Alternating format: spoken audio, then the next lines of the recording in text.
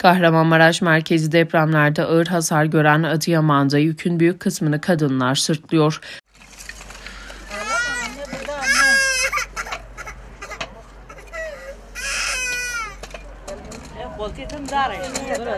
Kahramanmaraş merkezi depremlerin büyük hasar oluşturduğu Adıyaman'da kadınlar 8 Mart Dünya Kadınlar Günü'nün sırtındaki ağır yükle geçiriyor.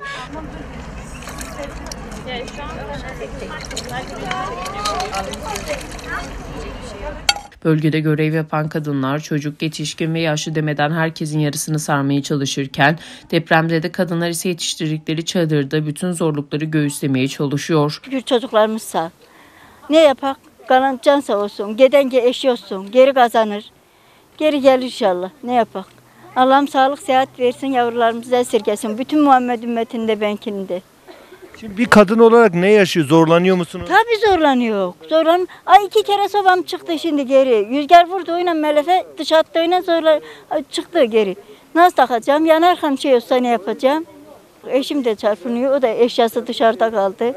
Onun için gidiyor geliyor. Bulaşık yiyorsun çadırların önünde. He, mecbur. Burayı tezgah yaptık bak ne güzel. Buna da şükür. Ne yapak? Çocuklarımız sağ olsun. Özel bir kadın olarak burada yetişkinler için hijyen malzemesi dağıtımlarımız var, yemek dağıtımlarımız var diye konuştu. Bir kadın olarak burada yetişkinlerimiz için e, hijyen dağıtımlarımız var, yemek dağıtımlarımız var. Çeşitli şeylerimiz var.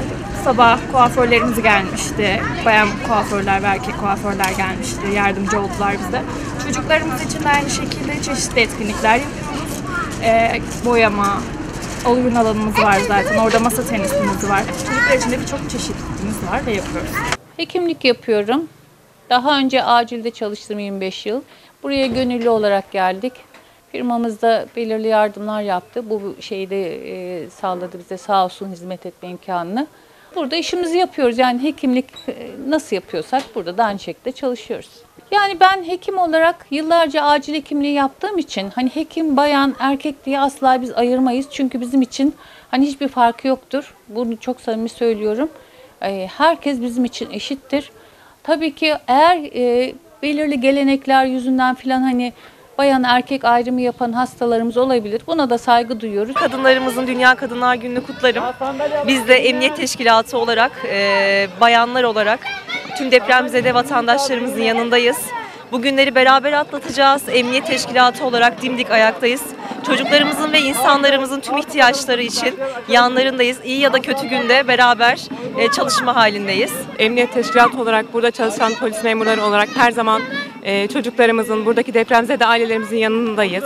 Emniyet Teşkilatı olarak e, çalışmalarımız sürekli devam ediyor. Onlara yardımcı olmaya, bu acıyı bir nebze olsun azaltmak için buradayız. Çalışıyoruz. E, Dünya Kadınlar Günü 8 Mart.